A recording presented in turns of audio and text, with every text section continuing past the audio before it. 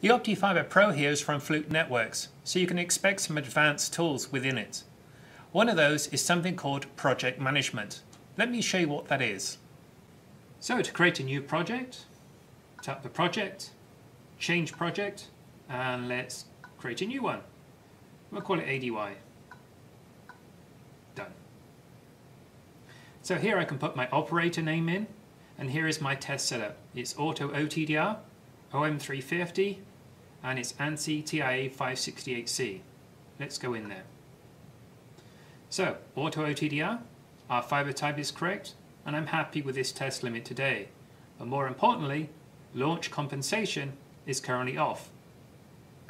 I want to put that on. That way, my launch and tail fibers are not part of the measurement. Save. Cable ID set, it's set at 001, which is great. Now, what will happen there is that the first ID you save, it will save it as 001, and then the next will be 002. Well, I don't think there are too many cabling schemes that are done like that, so I'm going to delete that, and I'm going to replace it with my own. And since this is a patch panel, it's going to be 1A-A01, which is my first ID that I'm testing. And the last ID that I'm going to get the technician to test to today is B24. Done. I also want technician to test both ends 1 and end 2. I can review that and I can scroll down the list here and you'll notice that once you get to A24 it jumps to B01 so it speeds up the process otherwise that A24 would go to A25 and then the tech would have to go back, delete the A24, put, you, I think you get the point. By doing this, it resolves one of the biggest issues that we see where the tech is using the wrong cable ID scheme. So, we'll hit save. Everything looks good here. I think we're done. So, here's our project, ADY. Our auto OTDR is set up. Our next ID, 1A-01. Let's hit the test key.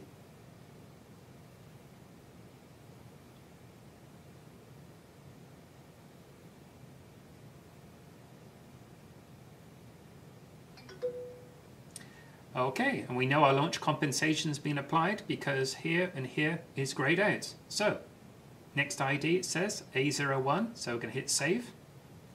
Here's my list that I created. I can jump around the list if I want, but I'm starting with A01, so I'm going to hit the save key. If I touch the home screen now, you'll notice that I've got the 1, and it says 1% is tested. So, let's run another test. And for a multi-mode link, as you can see, expect about 12 seconds for an auto test unless there's something wrong with the link. My next ID, A02, that's what it's going to save it as. So, save. I can't get to A01 now because it's been done already and it's jumping to A02. So I hit save.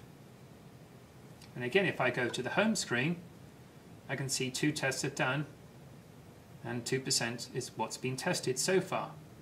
So let me see if I can actually create a fault. Let's run a test.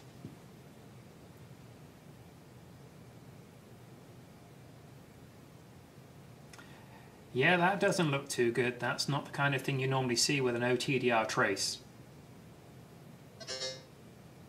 And it's going to give me a warning. So, it's failed. I've got two options. I can either fix this link now and then hit test again, or I can just keep testing, which is what I'm going to do. So I'm going to hit fix later. It's going to save it as 03, and then I'm going to go on to my next link to test.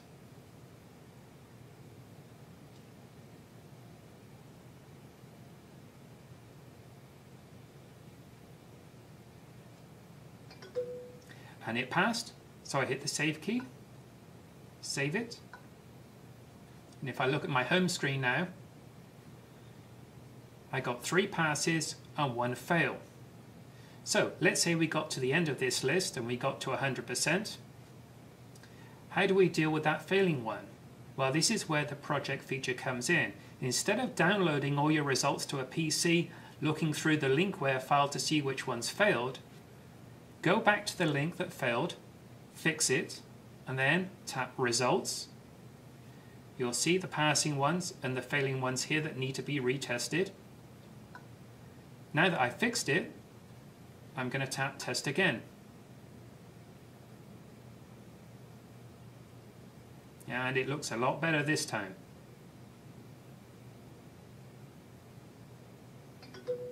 And it passed, so I hit Save. Save again. It's going to warn me, do I want to overwrite that failing test result? Well, I think so, yes. And now, when I go to the home screen, I see that I only have passing test results. And that is the project management feature. And where did this feature come from? It came from you, the installer. You asked us to have some kind of management feature in here that would allow you to deal with passing and failing results in the field without the use of a PC.